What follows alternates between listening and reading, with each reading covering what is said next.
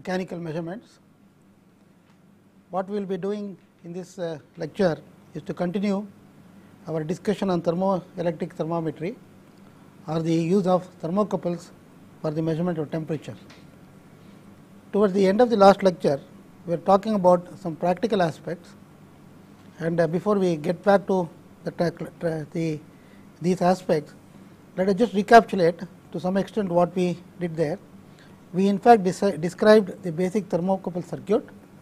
We also looked at the temperature variation in the wires. We will again do the same thing here and uh, because this has some practical implications and uh, having done that we will look at some more laws of thermoelectricity. There are three of them. These are very useful in uh, the practice of thermoelectric thermometry. Then we will look at what is called the practical thermocouple circuit and uh, we will discuss briefly the use of a junction box and we will round off the lecture with prob- probably two problems depending on the time available. So, in the next slide I am showing the simple thermocouple circuit which was in fact also looked at in the last lecture. It consists of two wires, the positive wire is shown as P and the negative wire as N and there is a junction between the positive and the negative wire which is maintained at the temperature T subscript M.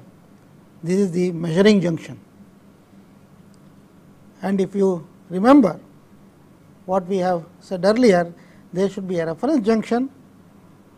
In this case, it is the junction is between the N wire and the P wire.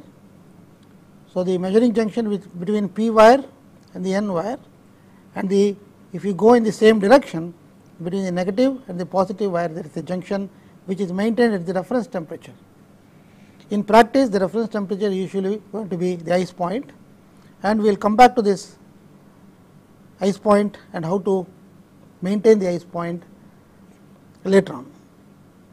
Invariably when you have a thermocouple circuit you have to make connection to a voltmeter or a potentiometer and that requires as you see here two junctions are formed immediately. There are two extra junctions one between the P material and maybe the wire which goes to the voltmeter is a copper wire this one and similarly from the P material here I will have another wire which probably is a copper wire.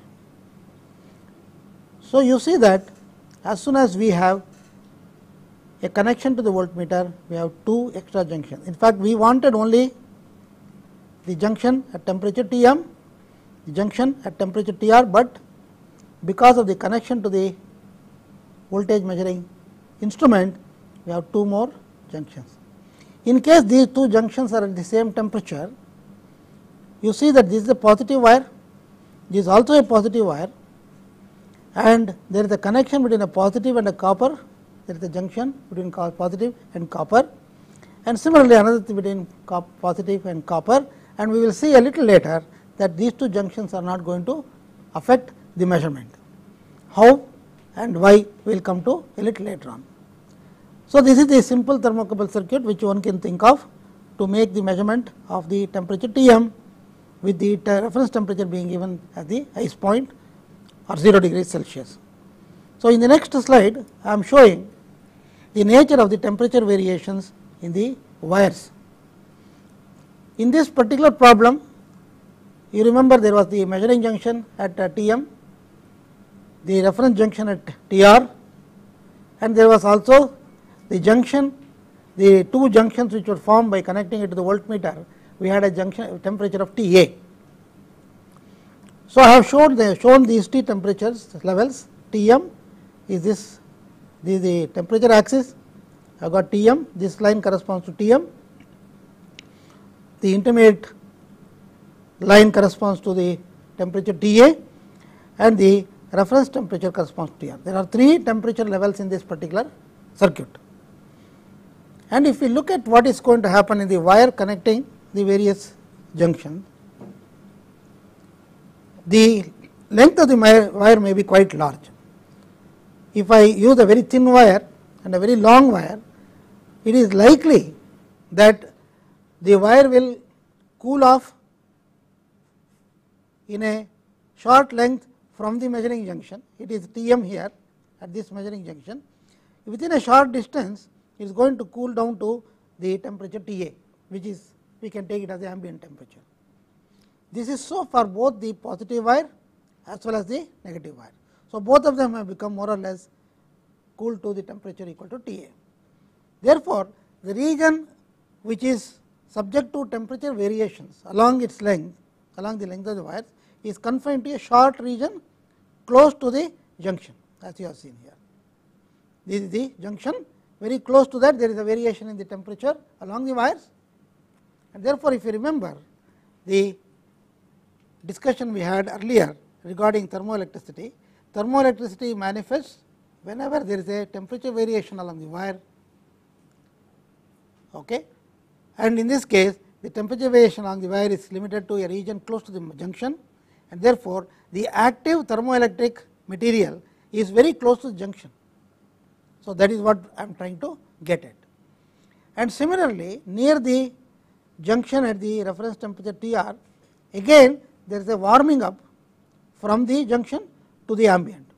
You can see here it is warming up to the junction from the junction temperature to the ambient temperature and similarly the positive wire. So, both of them in other words much of the bulk of the wire away from the junction is at a uniform temperature equal to T a. And uh, if you remember what we have said earlier, if a thermoelectric material is a is at a uniform temperature, there is no thermoelectric phenomena which is taking place. Therefore, we can see that the thermoelectric phenomena which is taking place is limited to a small region close to the reference junction, another small region close to the hot junction. This is very important, because we are going to now propose using a different way of connection. If you see here bulk, bulk of the wire is at a uniform temperature and therefore, there is no need to connect by using the same wires as the thermocouple wires. We can in fact use some other wire, we can uh, use extension wires so called extension wires which are made usually made of the same material as the thermocouple wires, but of lower quality or we can even use copper wires uniformly away from the junction. So, you have a junction and a very short distance away from the junction you have a wire connected to it which is either copper wire or a extension wire. So, that we save on the cost of the thermocouple wire. Otherwise, if the thermocouple is let us say wires are 10 or 20 meters long depending on the application, we will have to use 20 meters of uh, highly expensive thermocouple material. It is not uh, it is wasteful because it costs a lot of money and there is no point in doing that because bulk of the length of the wire is actually at a uniform temperature. So, this is very important to understand. Now, apart from this we have some three thermoelectric circuit laws which are going to be useful in the practice of thermometry, thermoelectric thermometry. One is of course, the law of homogeneous materials which simply says that a thermoelectric current cannot be sustained in a circuit of a single material homogeneous material however it varies in cross section by the application of heat alone very important if it is a uniform material made of the same homogeneous material whatever may be the shape size of the cross section and so on if you simply apply a temperature variation like that nothing is going to happen.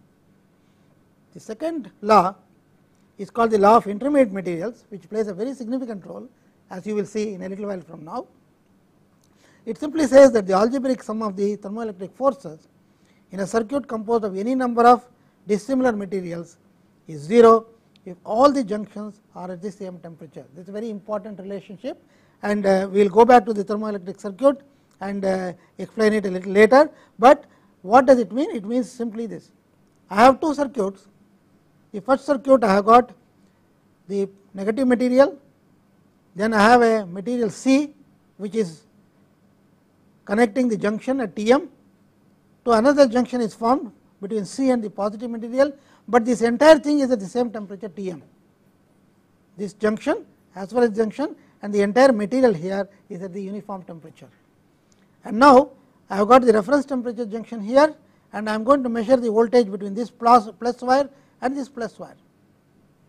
So, you can see that there are three junctions Tm, Tm, but there is a third material C and the, the relationship we just had was any number of dissimilar materials is 0 if all the junctions are at the same temperature. That means, because these two junctions are the same temperature, this material being there is of no significance. That means, I can remove this material C and look at the circuit shown on the right. I have got a single junction at temperature Tm, Tr and I have got a negative wire and the positive wire and this particular thing is missing. These two are equivalent. That means that whatever potential difference I am going to measure across the terminals in the first circuit is exactly the same as the one I am going to measure in the second circuit. That means that this extra uh, wire which is at a uniform temperature equal to Tm is not going to affect the measurement. And if I go back to the previous figure here, you see that this is the temperature Ta, this is the temperature Ta, there is a third material and you see that this is exactly what we have in the second law which we explained in the earlier slide. So, that means that the presence of these two extra junctions is of no significance. It is as though the voltage indicated here is only because of Tm and Tr and these two junctions were absent. If it were not so, we would never be able to use a thermocouple circuit, because it would be very difficult to construct a thermocouple circuit to measure the temperature. So, with this let us look at the another important law which is called the law of successive or intermediate temperatures which is very useful and uh, I am making a small sketch in the next slide to explain this relationship or the law. Suppose I have two junctions T 1 and T 2 and I measure the electromotive force across the junctions the E 1 I have another arrangement in which the junctions are at temperature T 2 and T 3 and I measure the voltage at the electromotive force as E 2. Now, if the junctions are at T 1 and T 3 here T 1, T 2, T 2, T 3. So, now I make it T 1, T 3 the electromotive force appearing across the junction E 3 is the sum of these two sum of E 1 and E 2 very important relationship. Let me just see how it can be used. For example, suppose I do not have a nice reference point, I am not able to have a nice reference point. Suppose this is the this is the temperature I want to measure T 1, T 2 instead of being the ice point I have got the room temperature. Okay. Let us assume that the room temperature is measured by a third thermometer some other thermometer which uh, which is easily accessible to us. So, I know the temperature T 2 I know the temperature T 2. Now, if you connect it connect the thermocouple between T 1 and T 2 which is room temperature it will give you some output E 1 and the T 2 room temperature with respect to let us say T 3 I consider the ice point for example. T 2 with respect to ice point will give E 2 actually what I should do is I, should add this uh, E 1 to E 1 I should add E 2 to find out what is the output of this thermocouple if this were at the measuring junction temperature and this were the ice point. Therefore, to find out what is the correct temperature all I have to do is to add whatever is going to be obtained by this arrangement between the room temperature and the ice point. This can be done by of course, looking up a table. You look up a table of thermocouple uh, whatever material you are having for the thermocouple, you look up the table put T 2 equal to the room temperature, T 3 equal to ice point. This directly comes from the table. You are going to measure this E 1 in your experiment. Then you add this E 1 plus E 2 and you will get the value E 3 and uh, this E 3 will now be the correct value of the electromotive force which you should see. Go back to the table. Find out what is the temperature corresponding to E 3 that is the correct temperature of the junction T 1. So, the law of intermediate temperatures is an important relationship which helps us in actually performing thermometry. So, the three laws of thermometry or thermoelectric materials the first law which said uh, something about the fact that you cannot have any thermoelectric effect in a homogeneous material whatever may be the area of cross section however it varies by applying heat you are not able to get anything out of that. The second one is we had the law of intermediate materials the presence or absence of the material intermediate material is, is not going to be felt as long as the junctions which are extra junctions which are formed are at the same temperature. And the law of intermediate temperatures helps us in finding out what will happen if I do not have the reference junction at the ice point, but at some certain temperature I can find out by this use of this uh, law of intermediate temperatures the appropriate value of E 3 and therefore, I can find out what is the appropriate temperature. So, with these three laws I am going to propose the use of a practical thermocouple circuit, because the practical thermocouple circuit actually requires the application of the three laws which I have just now proposed, which we have looked at. These three laws are going to be used here. Let us look at how it is done we have the p and n material positive and negative sometimes I use plus and minus sometimes p and n it means the same thing. One junction is the temperature T m and I have the other junction at the reference temperature T r n and p material these are this is p and n this is n and p this is very important. The junction must be between p and n here and when you go round it should be from n to p this is very important. But what I have done is I have connected a copper wire between here and here, a copper wire between here and here and also a copper wire between here and here. So, now when I connect these extra copper wires, you see I have made I have a new one more junction here. If you want you can call it junction number 1 extra, junction number 2 extra, there is the junction number 3 extra, 4 and then 5 and 6 six extra junctions have been formed. By connecting the copper wires as lead wires instead of taking the same wire all along I could have done that. That is what I did in the simple thermocouple circuit. Here I am deliberately using copper wire. And if you look at the temperature variation the temperature Tm here Ta here most probably all this material from somewhere very close to the junction is all at the same temperature Ta that is the ambient temperature. Similarly, here. Therefore, the P and N materials have variation of temperature along their length close to the junction here and therefore, why waste the material P far away from it. Similarly, for the junction at the reference temperature. Therefore, I am saving a lot of high quality thermocouple wire by substituting it with copper wire copper wire is available in good purity and also uniform quality and it is much much cheaper compared to the thermocouple wires maybe a factor of 25 or 50 that is the cost ratio. So, the advantage of using a practical thermocouple circuit is that I am going to substitute the P wire by a copper wire, N wire by a copper wire. Sometimes what is done is instead of copper wire I will use the what is so called extension wire P same P wire extension wire which is not necessarily of high quality. That means that the purity and other requirements of the the extension wire will be less than that for the thermocouple wire. So, I, I might even have instead of this copper wire I will have P, P wire made of less quality wire and similarly here I may have N wire which is the extension wire same composition as the wire here but not of equal purity are manufactured with the same care and so on. So, that I can use less expensive extension wires instead of the copper wire that is also possible. The advantage of using less expensive junction wires is that most probably the performance of that material will be similar to the p material or the n material as the case may be. And because the temperature variation is very little in that wire, any inhomogeneity in that is not going to materially affect the temperature movement.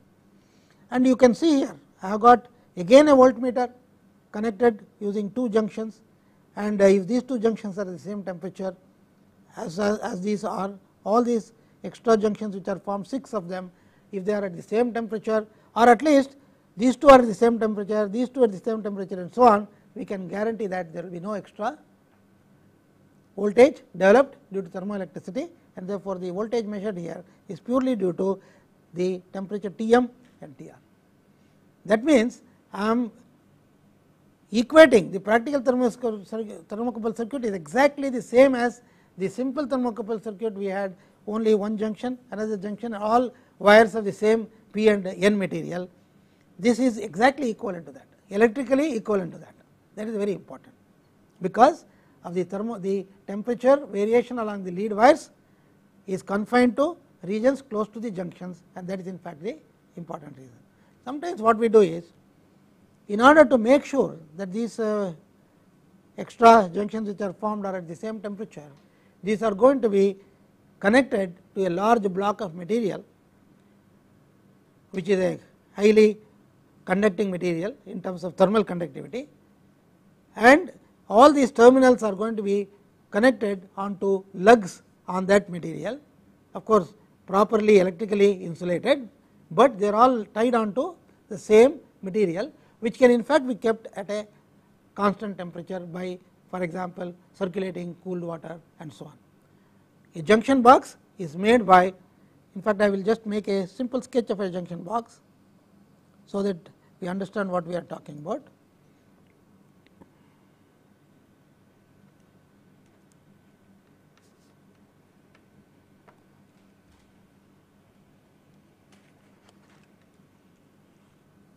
So, what we have is a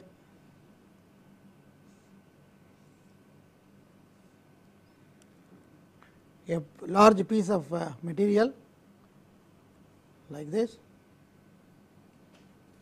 And uh, you might even have it may be connected or it may be cooled. Cooled block for example of copper or aluminum. And we have the all the junctions here. Something like this. And uh, you connect the wire onto this. And possibly put a screw. Something like that. So, the advantage of this is that all these junctions all these they are after all going to form junctions are at the same temperature.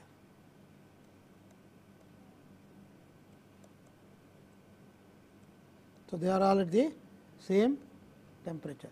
The advantage is that we are now making certain that all the wires which are connected to the blocks here terminal blocks here are at the same temperature and therefore, no net thermoelectric effect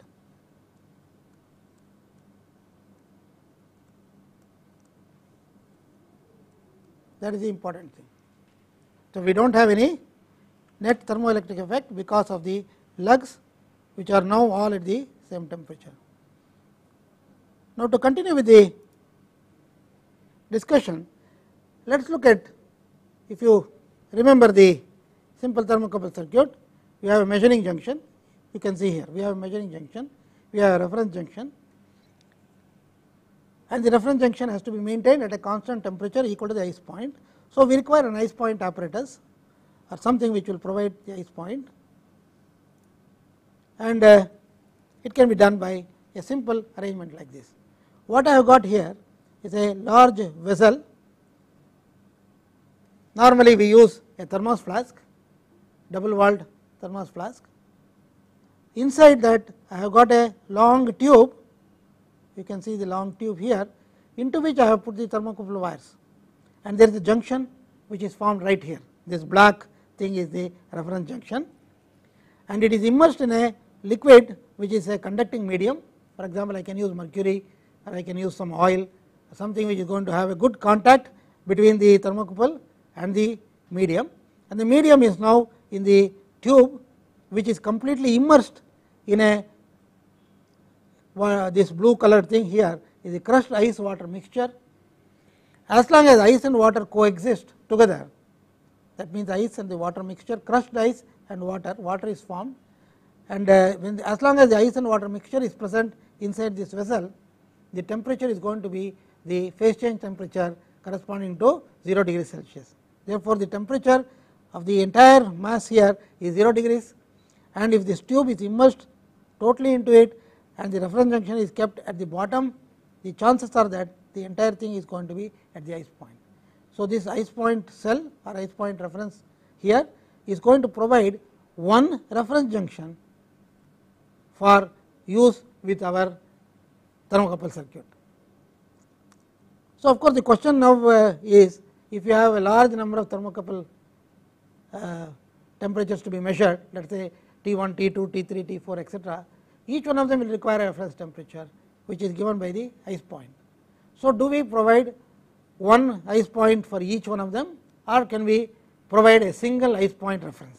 So, that question is answered by looking at an arrangement which is possible and here I have shown many hot junctions with a single reference junction and I also have shown a junction box.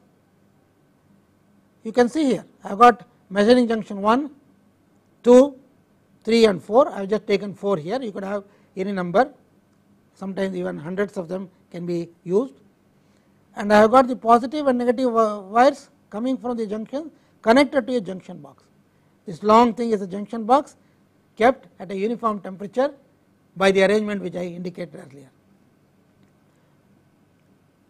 And uh, from the junction box I take copper wires, all these extension wires are copper wires. And then they go to another junction box come switch. So, these are the junction box points and there is a switch which will connect any two of these terminals to the rest of the circuit. So, let us look at for example, if I were to connect this wire through this switch to this wire and this wire through this switch to this wire, what will happen is there is a copper wire, there is another copper wire, these are two, all these 4 points are on the selector switch which can be kept at the same temperature. Therefore, all these junctions are at the same temperature, these two junctions also. Then this is connected to one ice point reference the minus plus here again a copper wire and connected to the voltmeter. So, by using the selector switch usually the selector switch is a very expensive equipment it consists of a rotary switch even though it is shown here as a long uh, uh, vertical thing here actually it is usually a rotary switch with uh, 16 or 32 or 64 terminals available for us and the by rotating the thing I can select these two or these two or these two and so on. Therefore, what I do is when I want to take the readings of T1, T2, T3, T4, I will go through 1, 2, 3 all the different positions and note down what are the corresponding electromotive force which is going to be indicated by the voltmeter. Okay. One cycle will mean I, I go from 1 to 2 to 2 to 3, 3 to 4, note down 4 readings and again I am ready to start this if the temperature is varying with respect time. Therefore, here by using a selector switch which is a rotary switch most of the time made with gold contact so that the contact is very very good. So, we are able to use a single ice point cell with several hot junctions to measure the voltages one by one by selecting each one in turn and then putting them together we are able to get the measurements of several junction temperatures using a single ice point as well as a single voltmeter. This is very important. The advantage of using a single voltmeter is that the error in measurement of various quantities is the same because we are using the single instrument. If you use different instruments, the calibration between the different instruments also will come to a picture, whereas here there is only one instrument I am using and the error is limited to the error of one instrument. So, many several interesting points will come out of that if you look carefully. I do not want to give all the information, the student should learn some of these things by looking through and understanding what are the principles involved. In fact, if you, if you look at the sketch, all the three different laws of thermoelectric circuits which we talked about earlier are all applicable here. They are all applicable here. And in fact, we have several junctions have been formed. We are seeing, seeing, seeing to that all the junctions are at the same temperature by using the junction box concept. We are using a good selector switch which is also a usually a very bulky item which, which, which whose temperature will remain more or less uniform throughout. So, these are all the some of the things involved in this particular measurement. So, the to cut the to cut short the discussion or to summarize what we have done till now, we started with thermoelectric phenomena, we discussed the Kelvin relationship and then we talked about the relationship between the temperature and the output of a thermocouple circuit. We talked about a, either a table, lookup table or you could think in terms of fitting a polynomial. And then we looked at both the simple thermocouple circuit and the practical thermocouple circuit using the three laws of thermoelectric uh, circuits and we also use the information that the temperature variation in the materials is confined to regions close to the junctions. Actually, the main point here is that the thermoelectric phenomena is not a junction phenomena.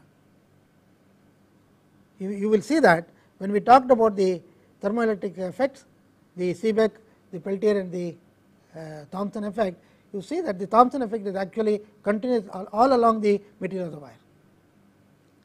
The Seebeck effect is simply a combination of the other two.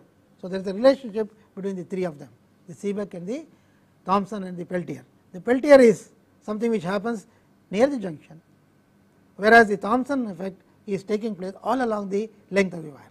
Therefore, it is not correct to think in terms think uh, of the thermoelectric phenomena happening at the two junctions. No, it is happening all over the place.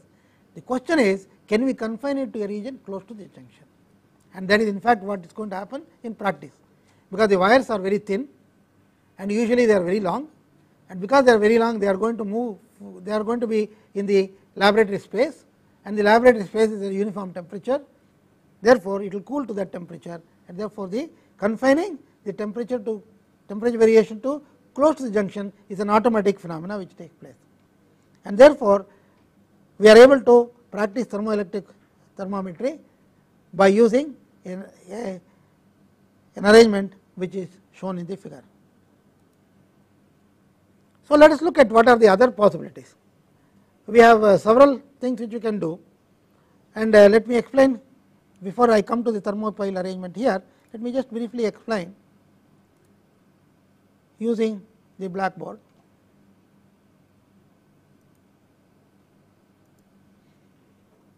Let us look at the possibilities. Can we amplify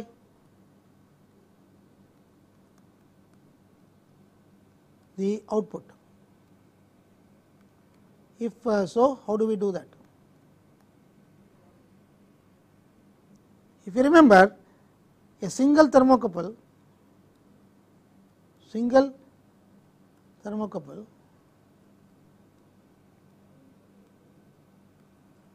The output is in the microvolt or millivolt range. This is well known, we already seen this earlier, because 1 degree Celsius gives about 40 microvolts for a K type thermocouple. In fact, K type thermocouple is one of the most sensitive even that provides only about 40 microvolts. Other thermocouples will provide less than this. So, if you use a single thermocouple, resolution is going to suffer. Resolution is poor. Or another way of saying that is that I must have very sensitive voltmeter to measure small temperature differences. So, if delta T is small, we need very sensitive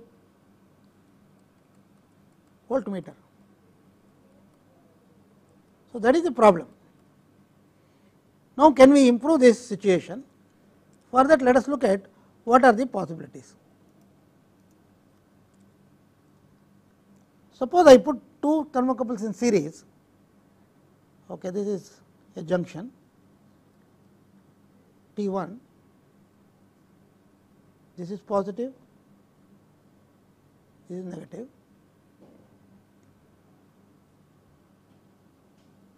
Okay. So, I want to increase the output by of course, you have to have this is what you have.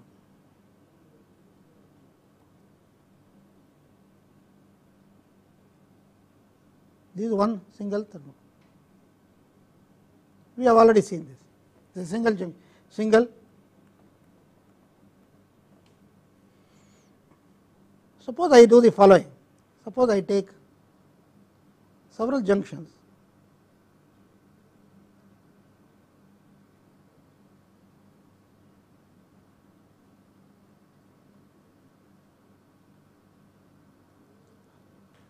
So, I am going to compare, connect like this.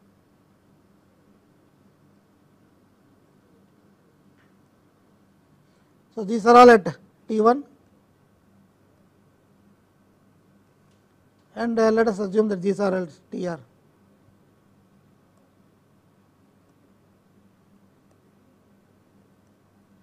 So, I am going to have a plus wire here, minus wire here, a plus wire here, minus wire here and so on. And of course, I am going to take the connection from here and I will connect it to a voltmeter. So, I have got here 4 junctions T at same temperature and uh, 3 junctions plus these 2 junctions because these two entire thing is at a uniform temperature. And because this is made of a thermal material if you use the law of intermediate materials you can see that this junction and this junction together is like one junction. So, I have here 4 hot junctions and 4 cold junctions. All in series. That means that I am going to get the output if this is V this will be 4 times V is the output. This is output is equal to V single hot junction, single reference junction, I am going to get voltage equal to V. I have got 4 here and 4 cold junctions as I explained just a while ago. These two together form one cold junction. So, there are 4 cold junctions, I get 4 times the output. That means that I am able to get a bigger output. For example, instead of 40 microvolts per degree, I will get here 160 microvolts per degree. So, there is an advantage. So, with this background let us look at one of the applications and it is called the thermopile. What is the thermopile? Thermopile consists of a large number of hot junctions and a large number of cold junctions. In this case I have shown it in the form of a circular arrangement. So, I have got the hot junctions are all open circles and the cold junctions are all the blocked circles and there is a shading ring is what the shading ring is doing is to prevent the heat from being communicated to the junctions which are in the shadow. One of the uses for this particular thermopile arrangement would be you have let us say solar energy falling on the these junctions.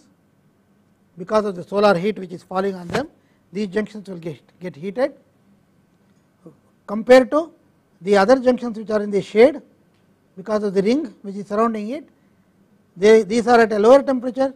All the black dots are at a lower temperature and they are all in series. In this case I think I have about 15 or so junctions. So, 15 times the voltage will be developed and what this measures is a large output. If the output for, for each thermocouple pair is only 40 microvolts as I just said, you will get about 15 times that 15 times 40 about 600 microvolts which will be a sizable amount. So, the junctions which are shown with the open circles are illuminated junctions and the others are shaded junctions. In fact, we have also indicated here another use for thermometry. If you remember we were talking about measurement of temperature and suddenly we have shifted our emphasis. Here I am talking about measurement of solar energy.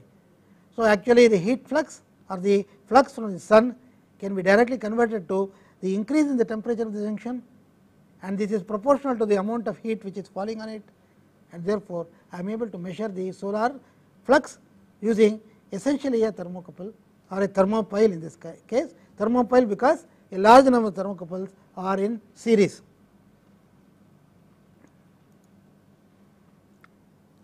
We did what we did earlier was to increase the output. We can also do the following. We can have a differential thermocouple. What is the differential thermocouple? It measures directly the temperature difference between two junctions. Where do we use it? Why, why do we use it? We will just look at it. So, I have two junctions, one at temperature T 1, the other junction at temperature T 2 instead of the reference temperature. I am not using a reference temperature here. I am using two junctions, one at the at a higher temperature and the other one is at lower temperature. So, plus minus and this minus is coming here and then plus. So, between the two plus wires I am going to measure the output and this will be the output due to the temperature difference between the junctions T 1 and T 2. If you remember the law of uh, the third law which I proposed, in the third law I had T 1 and T 2, it is like T 1 and T reference minus T 2 minus T reference. So, what you get here is nothing but T 1 minus T 2 all right you can uh, work it out in your mind. So, this arrangement is going to give you directly the temperature difference. What is the advantage of this? Suppose I have a fluid flowing through a tube and it is uh, losing heat let us say. It is entering at temperature T 1 and after uh, going through a certain length of the pipe it is going to come out with a temperature T 2 which is very close to T 1 that means that maybe 2 or 3 degrees variation is there. I can measure it in two different ways. One is I can measure T 1 separately by using the thermocouple and a reference junction. I can similarly measure T 2 separately using a reference junction and right point and this measuring junction. Now, I get two values from the table one corresponding to this temperature the other corresponding to this temperature then I have to take the difference between these two quantities. That means that the error in the first measurement and the error in the second measurement if you remember the propagation of errors. In this case there are two measured quantities and the error of each measured quantity T 1 separately T 2 separately is going to affect the temperature difference because of the propagation of the error. If you measure directly T 1 and T 2 you are not going to have that problem. Therefore, whenever we are measuring very small temperature differences as in the case of a fluid which is flowing through a tube and getting heated and losing heat or getting heated, if the temperature rise or temperature drop is a small quantity like 2 or 3 degrees or even 5 degrees, you can measure the difference directly instead of measuring the two separately and taking the difference. There is another advantage. If you are measuring the temperature difference between two quantities which are very close to each other, the thermocouple is almost a linear device. That is a great advantage. Suppose T 1 is 35 and T 2 is 38, 3 degrees, 3 into 40 microvolts, that is what you are going to get. So, directly you can convert the temperature difference the uh, potential difference directly to temperature difference by simply multiplying by, by, by using the Seebeck coefficient at around 30 degrees, 35 degrees whatever value it is you can obtain that. So, the advantage of a differential thermocouple is there are many. One is it reduces the error in a quantity when you want only the temperature difference not each temperature separately. As in a flow where uh, temperature difference is to be measured. Also the advantage is that the thermocouple is more or less linear in a small range and therefore, I can use a constant value for the Seebeck coefficient and without looking up into a table I can directly measure the temperature very accurately. In fact, the difference thermocouple can be used with an amplifier also. Suppose I take the difference between these two signals put it in an amplifier I can amplify by a constant factor. Maybe I can use an amplifier with 100 amplification 40 microvolts will become 40 into 100 4000 microvolts and it becomes a very large value. So, I can measure it very easily very without much difficulty and there is no reference junction there are only two junctions the difference directly being measured the great advantage. So, with the with this background I will try to see if I can give one or two examples. In fact, I had two examples in mind maybe it will be possible maybe not. Just before uh, we go to the examples I just want to make uh, something known to you. The thermocouple tables are available from the following website. It is www.temperatures.com and you go there and put tc tables dot html. I think I will I will show a different way. You can see better www.temperatures.com slash tctables.html. This is a useful link. If you go into that, you will be able to download all the tables you may require for calculating temperatures based on the measurement of the voltages. So, with this background let us uh, take a look at the example. So, the example I am going to take is the following I will call it example number 11. No numerics here I am just going to explain how to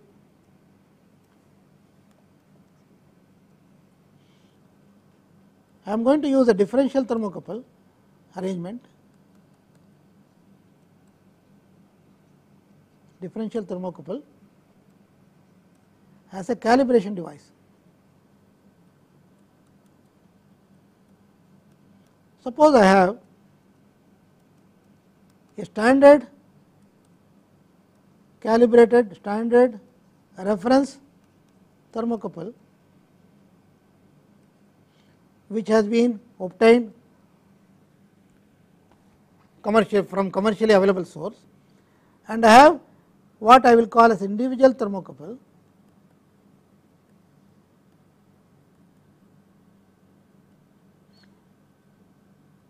the this is supposed to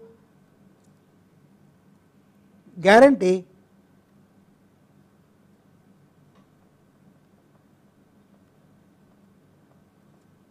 some performance index.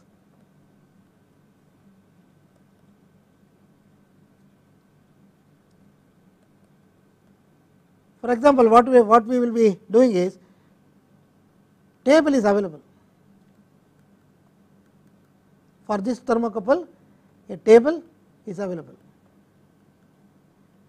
The manufacturer has guaranteed that a table is available and you can use the table for this purpose. For this I do not have question is I do not know what it is. So, how do we go about calibrating this individual thermocouple with the help of the standard reference thermocouple. For that what I am going to do is I am going to make a circuit like the following exactly like what we had.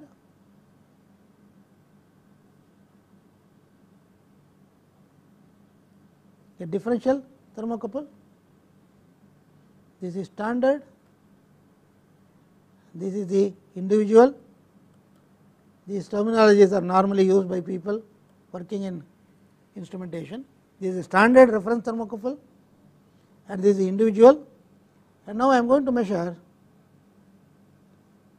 the potential difference across these two junctions. That means that this is plus, minus, minus, plus, this is plus, this is plus. So, this is at the these two I am going to put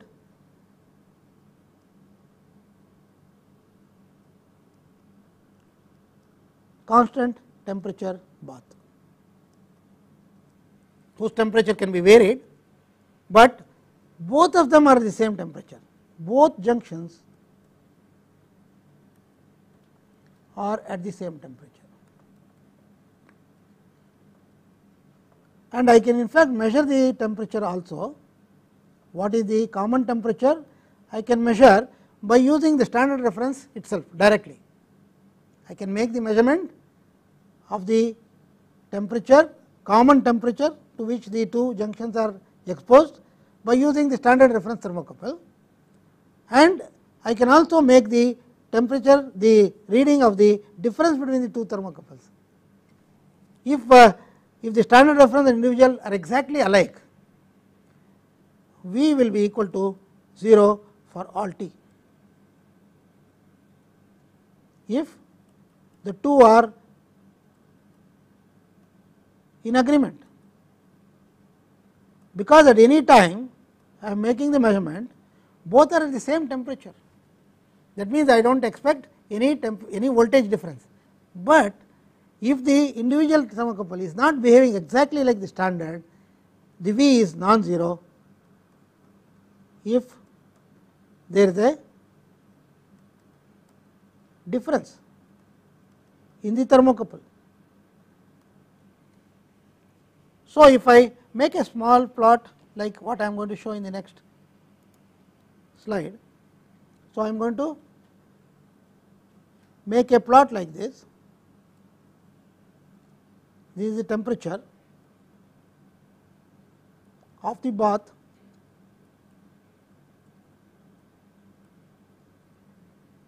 I can start with some value T 1, T 2, T 3, T 4 etc. On this I am going to plot delta V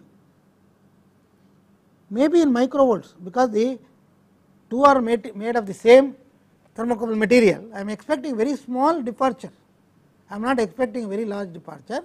Therefore, maybe you may have 100 microvolts here and maybe minus 100 microvolts here. The difference is only very small. Of course, in terms of a K type thermocouple, this will be something like two and a half degrees. If you remove remember that 40 microvolts is per degree. So, at T 1 the two may not agree, I may get a point like this. At T 2 the error is actually like this, here the error may be like this and so on and so forth. So, the I can roughly say that the difference between the two thermocouples is such that the error distribution or the error variation with respect to temperature is given by a curve like this. So, this can be used as a calibration device because I can add or subtract as the case may be the voltage indicated here as a correction. So, the values may be used as a correction. What do you mean by correction? I am going to use the standard reference table is there already. The table gives you some value. In that table whatever value you get, you add or subtract the value shown here and go back to the table and find out what is the temperature. So, I am going to use the individual thermocouple in the measurement. I am going to find out what is the output of this individual thermocouple and corresponding to each then I can find out what is the error between the individual thermocouple and the reference by having a calibration chart like this and I am going to use this as a correction to make a correction in that and therefore, to improve the accuracy of the measurement of the temperature using the individual thermocouple. If I have got let us say hundreds of thermocouples which I am going to use in the laboratory, I may not be able to calibrate each one of them like this. I will take for probably a few of them at random maybe 5 or 10 thermocouples at random find out how each one of them performs with respect to the calibration like this and then maybe average out because normally what we do in practice is to make thermocouples in the laboratory using the wire obtained from the same manufacturer from the same batch. That means that most of the thermocouples are uh, similarly behaving. And therefore, if I take a few of them from this lot and I calibrate uh, some of them and then uh, try to find out what is the average error and so on that may be a good idea. So, the calibration need not be that you calibrate each individual thermocouple.